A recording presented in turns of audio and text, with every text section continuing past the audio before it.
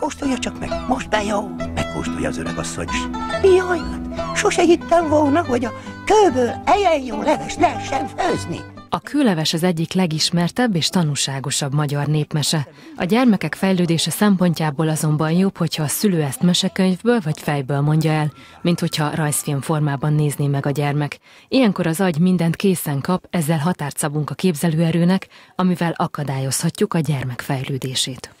Egyáltalán nem felcserélhető a tévében megnézett mesével, bár jól ki tudják egészíteni egymást, az, hogy leülünk a gyermekünk mellé, és akár fejből, akár könyvből mesélünk nekik, az egy olyan élmény, ami egyrészt a kapcsolatunkat is erősíti, másrészt az ő pozitív személyiségfejlődéséhez is nagyon sok mindent hozzáad.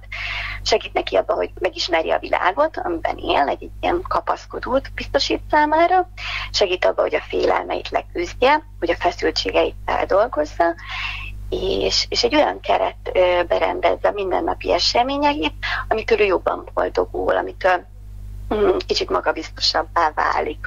Magzati és csecsemőkorban még inkább a mondókák fontosak, hiszen így ismeri meg a gyermek az édesanyja hangját, ezek ritmusa és dallama pedig jó hatással van az idegrendszerre.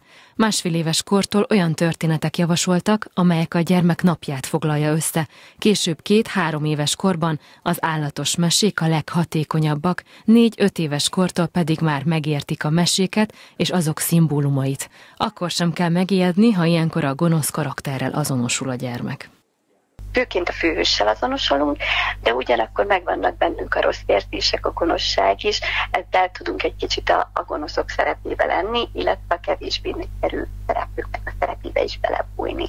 És ezeknek is láthatjuk a megoldásait és az, hogy hogyan reagálnak egy-egy helyzetben. Mert egy olyan gyerkőc, aki egész nap azt hallja, hogy jól kell viselkedni, ügyes gyereknek kell lenni, nagyon felszabadító tud lenni, hogyha lehet egy kicsit rosszul, rosszalkodni és, és gonoszként viselkedni, vagy akár le is játszani ezeket a dolgokat, el is játszani, elbábozni, lerajzolni, durmával megmunkálni. Tehát minden, ami, ami utána még a mesével való dolgozás, a mese feldolgozása, az mind-mind nagyon hasznos.